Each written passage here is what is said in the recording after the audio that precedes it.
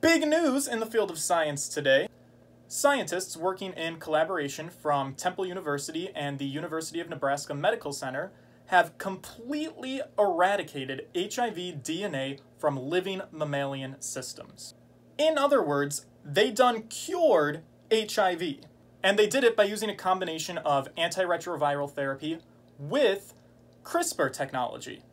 Now, I have talked about CRISPR and HIV in tandem quite a lot in the past. I've mentioned scientists using CRISPR as a potential cure for HIV way back almost a year ago when scientists published research results that utilized CRISPR technology to delete the gene CCR5 from white blood cells that HIV used as a doorway for infection. But this time around, we've actually got some scientists that are looking to use CRISPR not to delete the receptor protein on the white blood cells to make them immune to HIV infection, but rather to use gene therapy to completely remove HIV DNA from an HIV positive patient.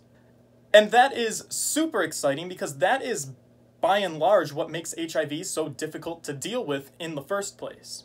For those of you that don't know and want a very, very brief lesson in HIV science, HIV is a retrovirus, and more than that, it is a lysogenic virus.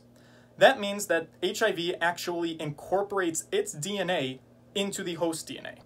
We typically think of infections as some kind of parasite that lives in your body, and your job as the host is to kill whatever parasite is inside of you, and then you are cured from the disease that it was causing.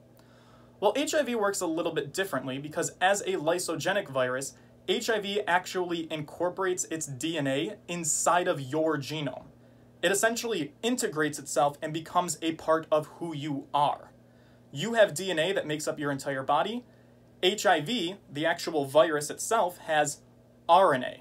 RNA being DNA's kind of close cousin. And HIV also contains special enzymes called reverse transcriptase enzymes. Their job is to reverse the process of transcription. Transcription is a biological process where DNA gets converted into RNA, and then RNA can actually carry the genetic code of you to your ribosomes to make your proteins. All of this is probably the most important thing that you were supposed to learn in your ninth grade biology class. It, for a long time, it was considered the central dogma of biological science. Today, scientists are trying to push away from using the word dogma because it sounds a little bit egotistical. But nonetheless, it is super important. DNA makes RNA, makes proteins. That is how you became you as a human person. HIV contains RNA. In order for HIV to integrate itself into you and become a part of you are, HIV needs DNA. Reverse transcriptase is the enzyme that HIV uses to turn its RNA into DNA, and then the DNA gets integrated into your genome. And so what are the long-term consequences of this? Well, if you are HIV positive, that means that you contain HIV DNA as part of your genetic makeup. That's why you can't ever completely get rid of the virus. Today, we can give people who are HIV positive antiretroviral therapy we can give them special medicines called protease inhibitors that block HIV proteins from being able to actually function properly. I've mentioned this before in one of my very first videos that I did, but basically the idea is, is that it stops HIV from being able to produce new virions. And so what that means is that over time, as you take antiretroviral therapy, your viral load count will go down. And once it gets low enough, you become undetectable. And you might have heard this thing called undetectable equals untransmittable, once you have an undetectable level, you can no longer transmit the virus to other people because you are not producing the virus. You're not actively making the virus, the virus is not circulating your body, you can't pass it on. That is kind of cool because that is reducing the rates of HIV transmission. But if you are an HIV positive person and you ever stop taking your antiretroviral medication, your body will start producing HIV again.